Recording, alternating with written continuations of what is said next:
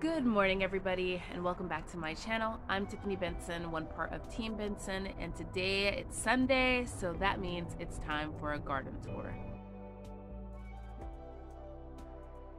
Okay, guys, so it actually is a little bit chilly of a morning. We've had some crazy, crazy weather, but that is spring here in the uh, Arizona Valley.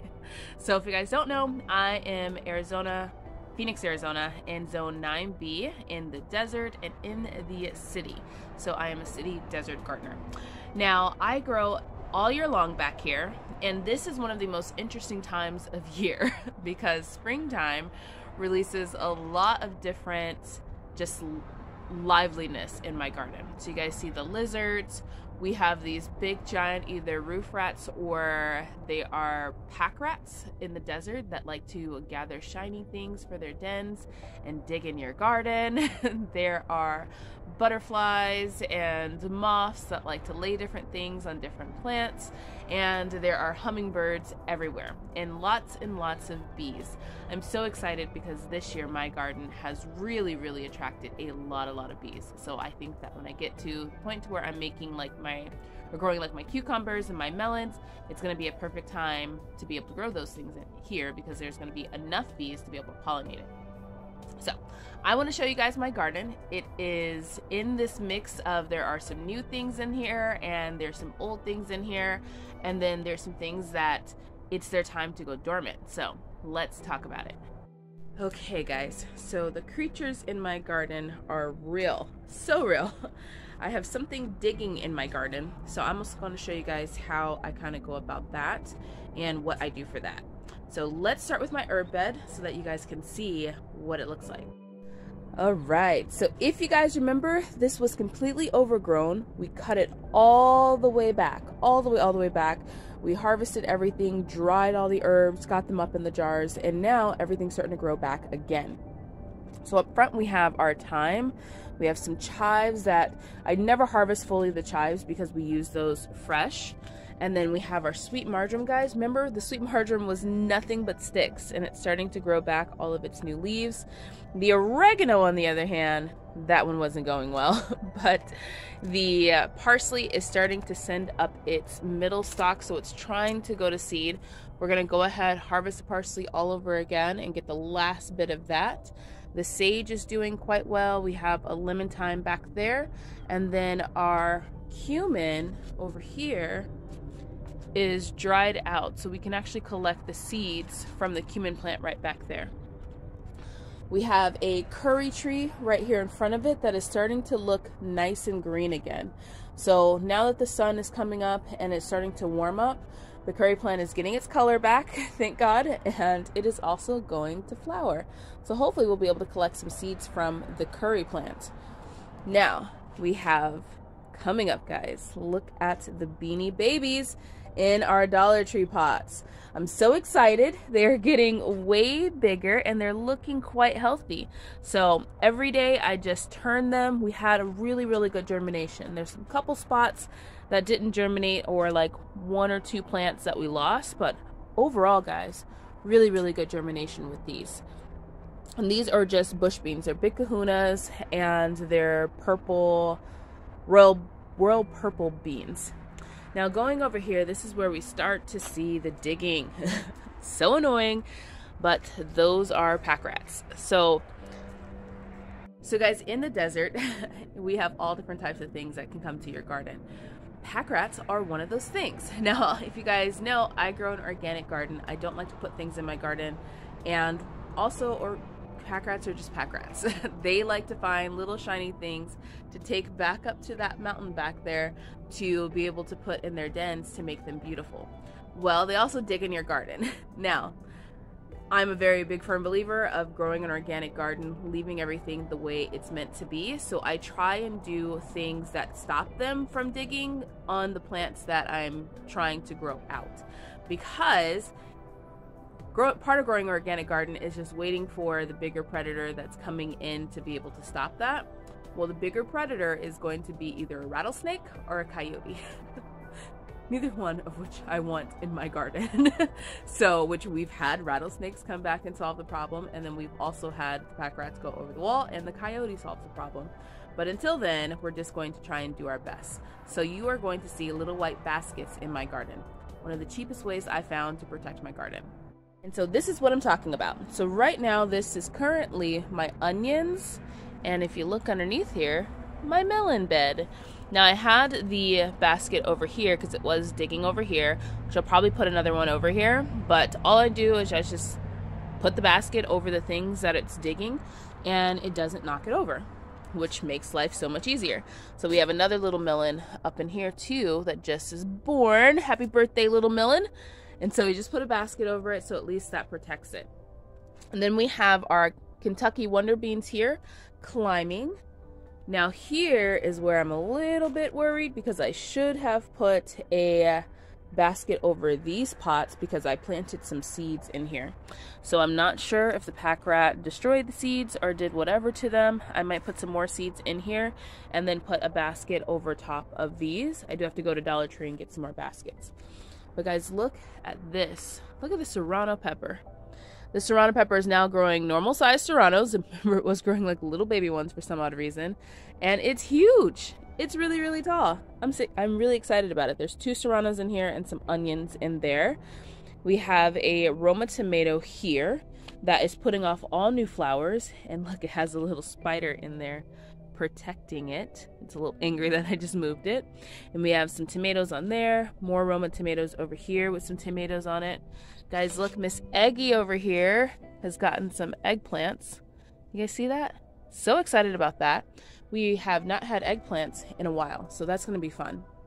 And then up here we have some peppermint, some thyme, we have some chocolate mint, and then here's the oregano that's doing really, really well. So we've been harvesting this oregano and drying it. It's putting off some nice, nice like long leaves. So we're harvesting that one, drying it. Hopefully we'll get enough for that one to go inside. We have tons of peppers on our um, poblano pepper here. This thing is super hot, so there are a lot of really hot peppers. Mr. Benson is loving this plant right here. And then we have our shishitos. So love the shishitos. See this, guys? Shishito peppers every single week. You just get more and more and more. If you guys are not growing shishito peppers, I'm an advocate. Make sure you grow them. So guys, with having a small space garden, you have to decide what is going to be the most productive for you and what's going to grow the most amount of food for you. Shishito peppers, that is it. you can have shishito peppers coming out of your ears and have nice blistered shishito peppers to use as a side dish like pretty much every week once it starts going. And I found that our family, our family of two, can literally have shishito peppers every single week off of just two plants. So if you have a bigger family, plant an extra one, plant two more, but you can have a ton of peppers and a ton of food just from something that's growing in a small space. Now, obviously, I just wanted to have so much heat in our life because we have more serrano peppers right here. This is the one I was going to take out. I left it in, but it produced so many, guys. I think this one produced over like 40 serrano peppers the first time and then now it died back and then now it's flushing again and it just has more peppers on it more flowers on it it's gonna be crazy and look, our other Kentucky Wonder is starting to make its climb. I'm so happy to have my arches full of something again because arches are beautiful when they're full. We have our black cherry tomato that I left in, guys, mostly because I just forgot about it.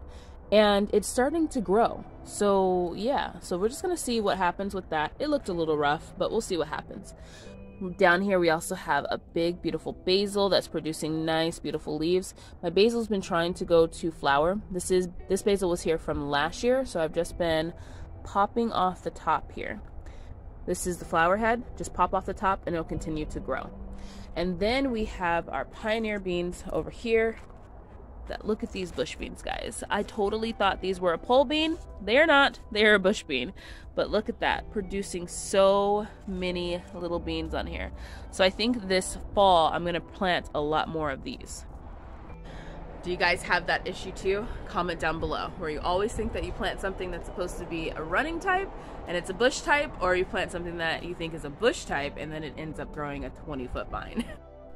Now, guys, my big beefsteak tomatoes have really been struggling with the weather, me not watering it the way that I should. But we've finally gotten them cut back and they're grown back, and now they're starting to grow tomatoes. so, hopefully, everything goes well. We start getting some more tomatoes, and life will be good we have some onions more onions. You guys know that i'm trying to grow a year supply of onions in my small space garden. And then over here in some more pots we have our armenian cucumbers. Look at this guys. It's getting big. Now right here you will see at the very base of it these are um, leaf miners. So let's talk about leaf miners so guys why do my armenian cucumbers have leaf miners well, they have leaf miners because Armenian cucumbers can survive and thrive in triple digit weather. So right now having the cooler days is or cooler mornings, the Armenian cucumber is not that happy. So it attracts some of the insects. Luckily, they attract leaf miners. Leaf miners are the easiest thing to deal with because all you do is go to the end of the track in the leaf and you just squish it and that kills the leaf miner. It's perfectly fine. Now, I planted my Armenian cucumbers early because I want them to really cover this arch and cover these onions below it before it starts to get to be like, you know, 100 and like 25 degrees. but they're going to struggle in the beginning because they're not going to really like these colder temp- colder temperatures but as soon as we start hitting the 90s and our days or our nights are going to be like in the 80s you will see these things explode and then they're going to put off big beautiful Armenian cucumbers, and we will have those all summer. Here's hoping. So back in the corner there, guys, we have some more onions because why not? And then we have little baby okra is popping up. This is our first one. We have we should have about three or four in this bed. Usually I grow three okras here. And then we have some more parsley that's gonna need to be cut back.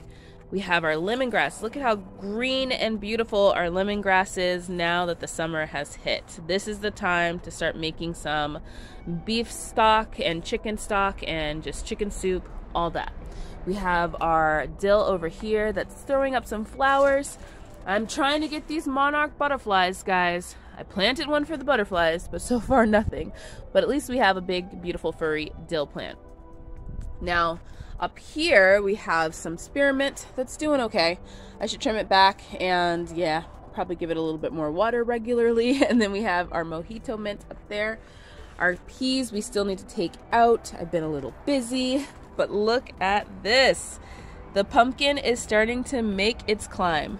I'm really excited. I can't wait for it to grow nice and huge and cover this arch. That's going to be so beautiful with baby pumpkins flowing below it.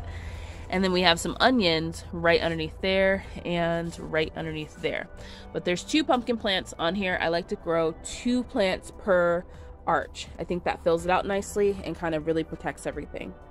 Now over here we have our Roma tomato that is starting to put off. I saw some, I don't know if my husband ate them. Nope, there's one more coming in, but it's starting to put off normal size um, Roma tomatoes now because they were a little wonky but the plant has recovered from the winter. It's flowering again and it's producing actually a decent amount of Roma tomatoes.